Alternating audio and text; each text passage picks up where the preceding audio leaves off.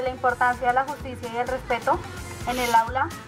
Cada, cada grado dio un punto a favor. Estos pactos, formamos unos pactos sobre cómo sería la convivencia en el aula. A través del diálogo y no agredirnos ni física ni mental ver, verbalmente para así poder cambiar nuestra convivencia. Mutuamente y acordar entre todos el no uso de los apodos, de que cada persona tiene su nombre. La convivencia entre los compañeros para así formar la base del respeto. Nuestro pacto como grado es comprometernos a poner en práctica valores como el respeto, la igualdad, tolerancia y justicia. También apoyarnos como grupo, unido, dialogando, compartiendo ideas y corrigiendo las fallas y errores para así lograr la paz. Luchar por justicia, por la justicia es, es sinónimo de paz.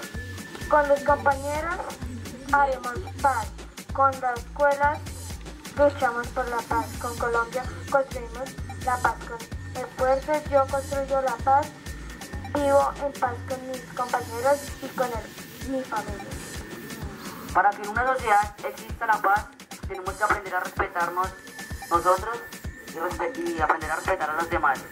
Existen muchos factores para fa- favorecer la paz con el otro que son la amistad, el respeto, el amor, la cultura, la tolerancia y la educación. También los factores que afectan son irrespeto, envidia, inequidad e in- intolerancia. Unas pocas la paz y la mayoría no lo hacen, por esto deberíamos unirnos para fomentar el amor y no la guerra. Necesitamos tolerancia, amistad, solidaridad hacia el prójimo. Es importante saber que la paz empieza desde los dos primeros núcleos principales de la sociedad, que es la familia y el colegio. Todos somos responsables de construir la paz. La paz no es un negocio. La paz es el camino para erradicar la pobreza desde la justicia. Y acá la frase es la paz es el símbolo de la armonía y el amor en la familia.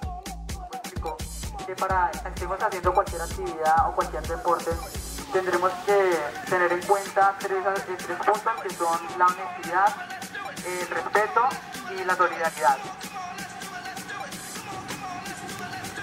En el segundo dibujo nos podemos dar cuenta que si trabajamos en equipo puede haber más paz porque todos son tolerantes.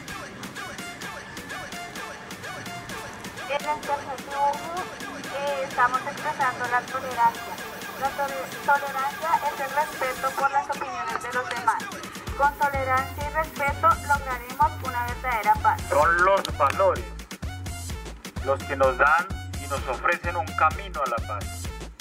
Valores como la tolerancia, el respeto, la justicia, el amor y sobre todo el gran valor de la familia respetando y liderando la vida.